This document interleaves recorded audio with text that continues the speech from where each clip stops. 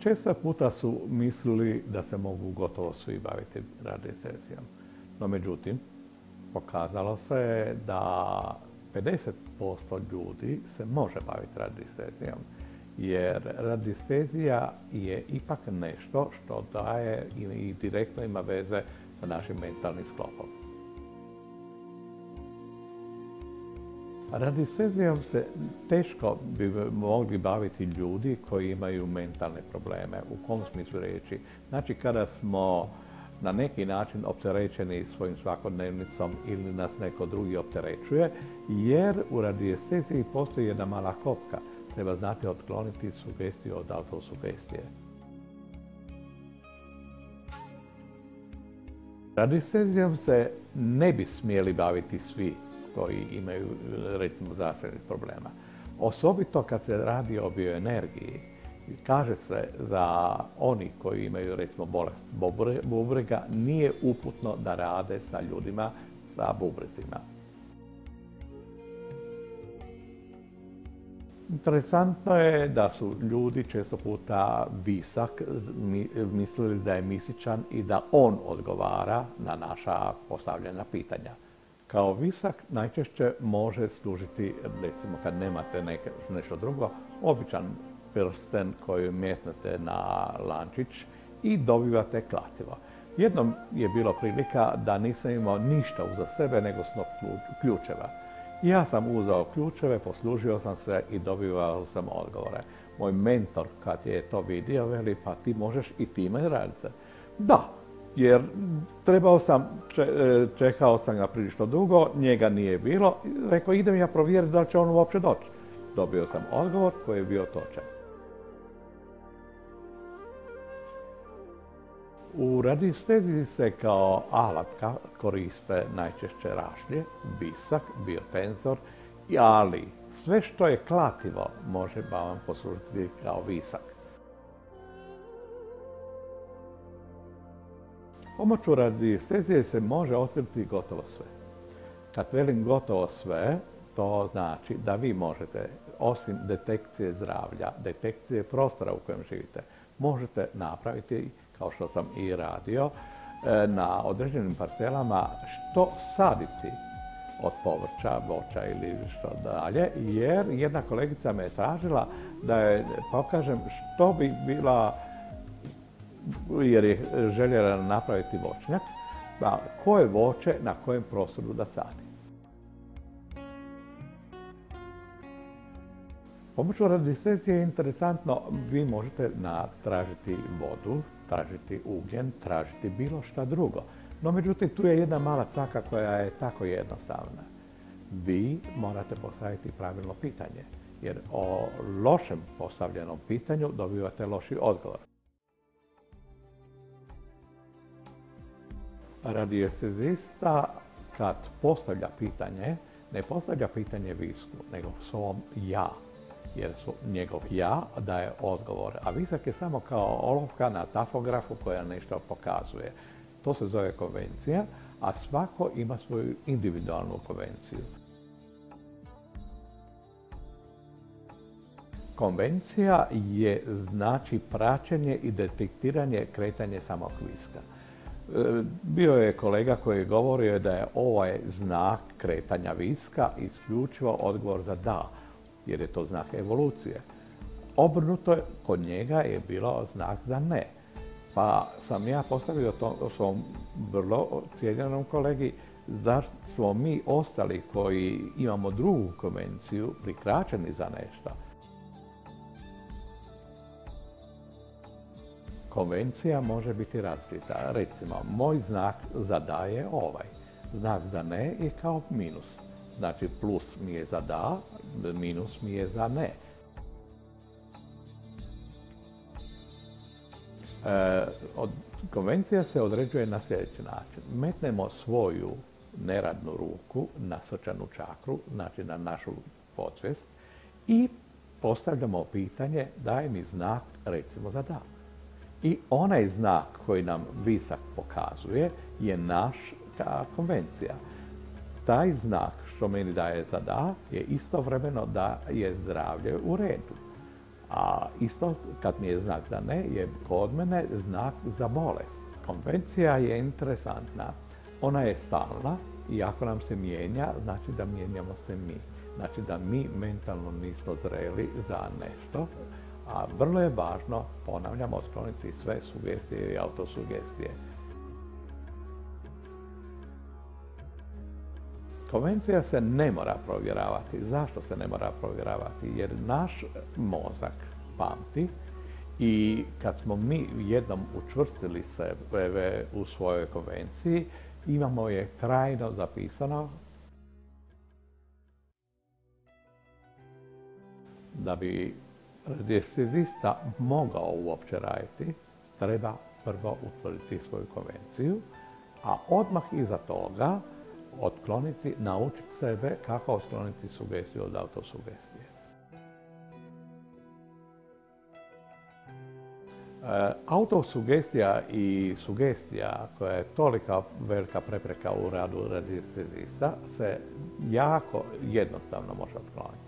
Ponavljam, kao što smo tražili osnovnu konvenciju, stavimo ruku na srčanu čakru i tražimo otklonjenje svih sugestija i autosugestija. Kad smo to jednom uskladili, vjerujte mi, ostaje u našem mozgu zapamćeno i pa svaki radijestezista već iz iskustva zna, sad mogu raditi i bez problema. Često puta su ljudi sumnjali da li je to točno, da smo otklonili sugestiju od autosugestije. Pa ostali smo zatečeni da naš mozak, kad je prihvatio je našu konvenciju i način razmišljanja, trajno ostaje to zabilježeno. Kad provjeravamo da li smo otklonili sugestiju od autosugestije, možemo i na taj način da pitamo da li smo otklonili sugestiju od autosugestije, a često puta sa strankama da oni sami se uvjere da li nešto, dajem im obična dva ova kristala na koje polože ruku i zamisle se pitanje sa da ili ne. Kad oni materializiraju svoje pitanje na ove kristale, ja dobijem odgovor i ostavim zatečeni da je odgovor onaj koji je pravi. Znači, na taj način se potvrđuje da smo otklonili sugestiju od autosugestije. Bilo je interesantno kad sam sam sebe provjeravao za da li radi točno ili ne. Jedan moj prekrasan, dobar stari travar je ja sam ga zamolio da napravi čajnu mješavinu za mene. On je rekao ne, napravit ćeš je ti sam. Pred mene je stavio 87 vrećica sa raznim čajnim pripravcima. I od toga sam ja morao mm, smanjiti broj i dobio sam recimo 13 e, vrećica za koje sadržajno nisam znao. Od tih 13 vrećica otpale su dalje tri, ostale znači 10. I kad smo išli provjeravati šta se desilo, recimo u jednoj je bila lipa, čaj, zapravo čajni pripravak od lipe, koji je bio star recimo četiri godine. A lipa koja je bila mlađa, bila je tri godine, bila je kvalitetnija nego ona, jer sarenjem ipak se gubi na kvaliteti. Diagnostika je interesantna. Mi moramo ipak nešto znati o anatomiji samog tijela. No, međutim, postoji i jedno olakšanje. Uzmemo kao našu kralješnicu kao smjer vodilje i idemo po njoj pa provjerimo stanje čakra, to su energetski centri kroz koje ide energija, pa već time možemo vidjeti koji dio tijela nije u redu. Često puta da ljudima bude to lakše, ja običnu olovku postavljam kao kralježnicu i vidim već na kojem dijelu olovke, odnosno kralježnice, je problem.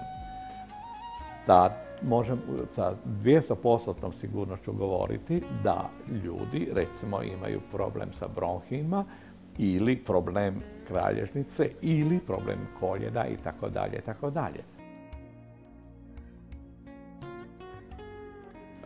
Interesantno je kad ljudi žele znati kako se to dijagnostika radi. Jednostavno, ja kad prolazim kroz tijelo, dobivam odgovor tijela. I ja samo detektiram da je energetski dio tijela u redu ili nije u redu i poslije provjeravam da li sam i ja možda pogrešio, pa vidim, sam sebe pitam, da li sam napravio dovoljnu kvalitetnu dijagnostiku. Kad radimo dijagnostiku, jednostavno ne pitamo se koji je dio tijela bolestan ili nije, nego radeći preko kralježnice mi dobivamo signal a po samom kutu koji nam daje signal možemo reći da je 30% oštećenja određenog dijela tijela ili je veći, s tim da možemo dobiti čak i signal da li nam recimo e, pojedina žljezda radi ubrzano ili ne. Tu je posebno interesantno kad se radi kod štitnjače ili nadbubrežnih žljezda, pa kad vidimo da netko ima problem štitnjače, provjerimo i nadbubrežne žljezde, jer je tada najčešće pitanje adrenalina u našem tijelu. Postupak oštećenja ili energetskog oslabljenja tijela je jako jednostavno vidjeti. Imamo dvije olovke u ovom slučaju i jedna nam je okomica, jedna nam je vodorana i po kutu kojeg dobimo mi automatski vidimo da li je tu 30% oslabljeno dijelo tijela ili je to recimo ovdje čak puno više, tu je već 70% oslabljeni dio tijela. Znači, tu treba ići brzo, provjeriti preko oficijalne medicine da se potvrdi, a ne da se samo slijepo vjeruje radi se jer bolje je provjeriti nego sumnjati i kad smo to napravili, možemo napraviti i tada način terapije, kako da se ta bolest otkloni.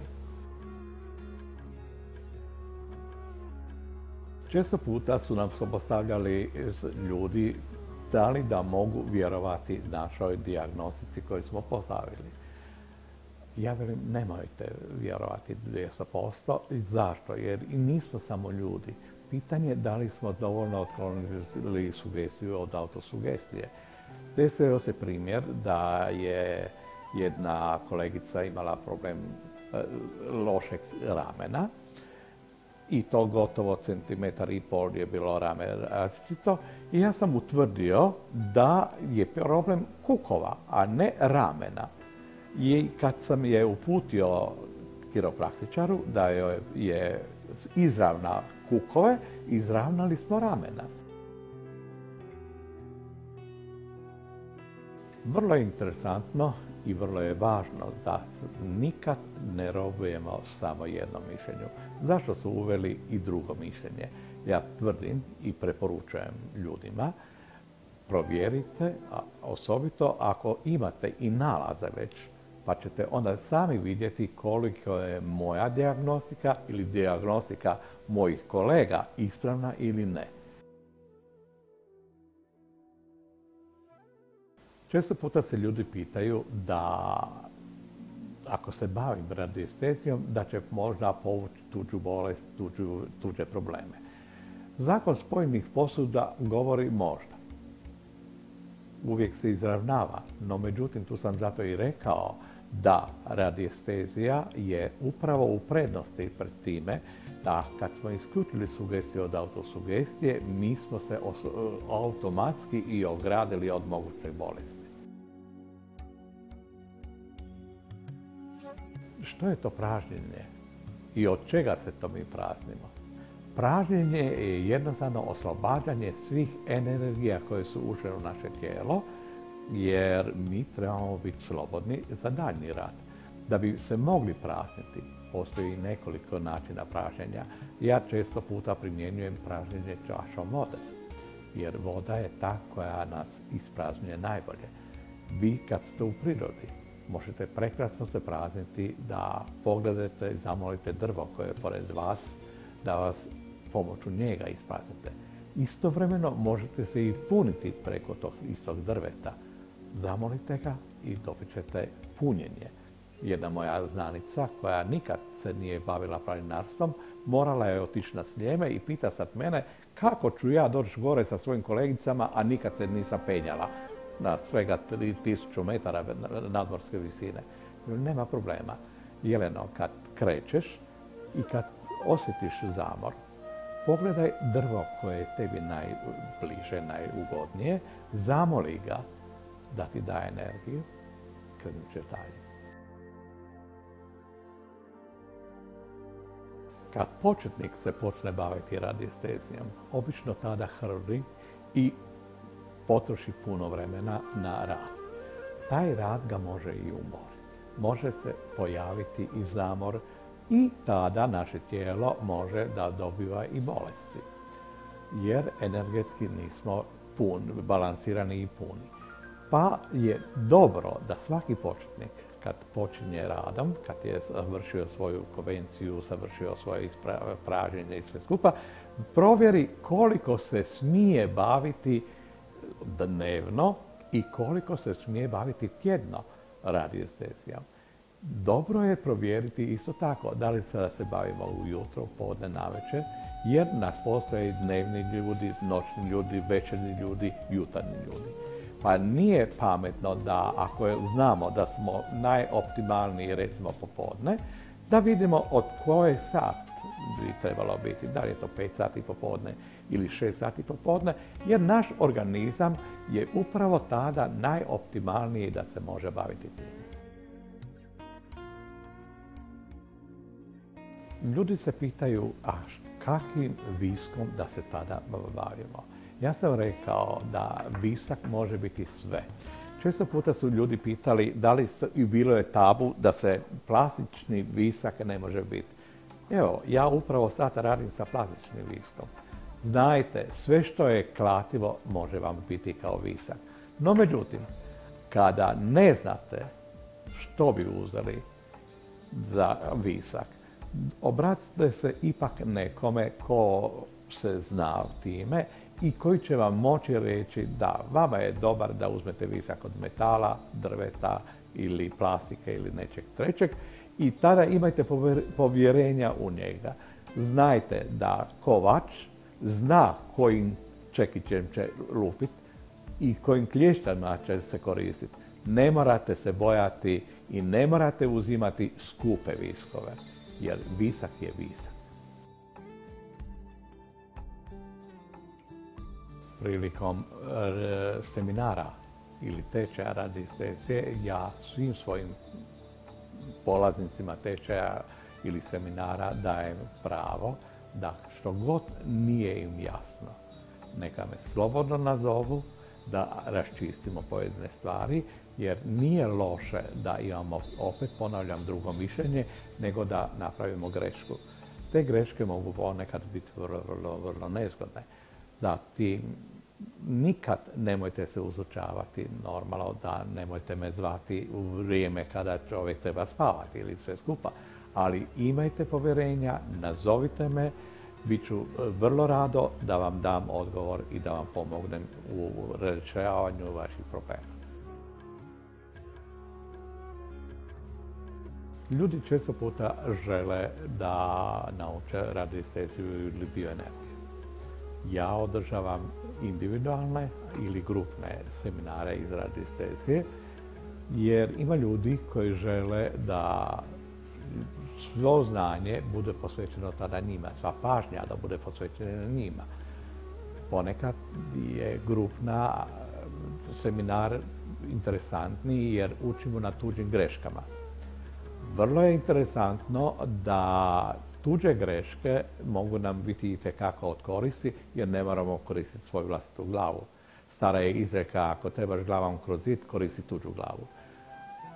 Svi oni koji žele naučiti radiesteziju, neka me nazovu i ja obično im preporučam da dođu do mene da bi vidio koji je njihov potencijal radiestezijski, koliko bi trebalo potrošiti sati da bi nešto naučili o osnovama radiestezije, a koliko bi bilo dobro da je vrijeme koje posvećuju radiesteziji za njih dobro. ti individualni ili grupni seminari su često puta povezani vikendom da mogu omogućiti ljudima koji su u to radnom odnosu da mogu subotom ili nedeljom biti da posvete i svojem zanimanju za radiesteziju. Jer kad bi bili u mogućnosti da preko tjedna radimo, to je onda samo za određene ljude koji nisu u radnom odnosu. Da bi postali radiestezisti, nemojte se, se usučavati me nazvati, jer kad dobimo vrijeme optimalno koje je za vas, tada vam mogu i preporučiti čime bi se trebali baviti, odnosno gdje bi bili najbolje da se posvetite određenoj radiesteziskoj grupi poslova. Ovo je bilo tek uvid u nešto što radiestezijom možete postići. To je kao da ste pogledali u izlog, vidjeli prekrasne kolače koji vam se dopadaju, a da bi ih naučili peći, trebate se obratiti majstoru da vas poduči na koji način ćete dobiti određeni kolač. Sve vam stoji na raspolaganju. Nazovite me, ne usučavajte se nazvati, bit će vam svakome e, posvećeno vrijeme dovoljno da mogu biti dobri radicezisti.